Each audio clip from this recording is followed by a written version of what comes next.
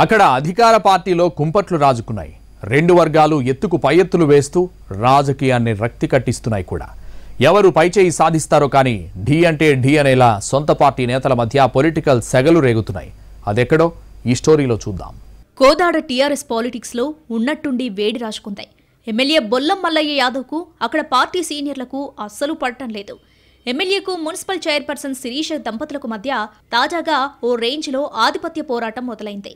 అంతా టీఆర్ఎస్ నాయకులు అయినప్పటికీ వైరిపక్షాల మాదిరి రాజకీయాలు చేస్తున్నారు. రోజులు గడిచే కొద్దీ సమస్య శృతిమించుతుందే తప్ప వెనక్కి తగ్గేందుకు ఎవరూ ఆలోచించడం లేదు. దాంతో రేపటి రోజున ఏం జరుగుతుందో క్యాడర్కు అంతు చిక్కడం లేదట. ప్రస్తుతం కోదాడ మున్సిపాలిటీ కేంద్రంగా గులాబీ శిబిరంలో అగ్గిరాజుకుంటాయి.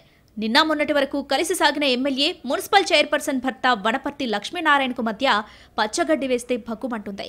తాను లేని సమయంలో మున్సిపల్ సమావేశం నిర్వహించారని ఎమ్మెల్యే మల్లయ్య యాదవ్ కసుమంటున్నారట. కోరం లేకపోయినా కాంగ్రెస్ కౌన్సిలర్లను రప్పించి సమావేశం నడిపించారనేది ఎమ్మెల్యే ఆరోపణ. అయితే లక్ష్మీనారాయణ వర్గం వాదన మరోలా ఉంటాయి మున్సిపల్ సమావేశం ఎప్పుడు నిర్వహించాలో ఎలా నిర్వహించాలో పురపాలక సంఘం పరిధిలో అభివృద్ధి పనులపై నిర్ణయం చైర్పర్సన్ చేతుల్లో ఉంటుందని ఎమ్మెల్యే కాదని చెబుతున్నారట. ఈ విషయంలో రెండు వర్గాలు మాటల తూటాలు పేల్చుకుంటున్నాయి. మున్సిపాలిటీలో కామటి పోస్టుల భర్తీపై వచ్చిన ఆరోపణలు ఇతరత్ర అంశాల్లో ఎమ్మెల్యేకు వనపర్తి వర్గానికి గ్యాప్ వచ్చినట్టు తెలుస్తుంది. కాకపోతే పార్టీకి ఇబ్బంది కలిగించేలా ఎమ్మెల్యేను ఇరకాటంలో పెట్టేలా లక్ష్మీనారాయణ బ్యాచ్ తీరు ఉందనేది మల్లయ్య వర్గం వాదన. పైగా ఈ సమస్యను ఇంతటితో వదిలిపెట్టకుండా సొంత పార్టీ చైర్పర్సనే అవిశ్వాసం పెట్టేలా పావులు కదుపుతుందట ఎమ్మెల్యే శిబిరం.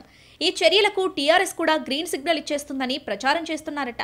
అసలే గ్రూపులు ముఠాలు వర్గాలు కోదాడ టీఆర్ఎస్ కుంపట్లు రాజేస్తుంటే సరిదిద్దాల్సింది పోయి కొత్త సమస్యలు తలకెత్తుకుంటున్నారనే చర్చ సాగుతుంది.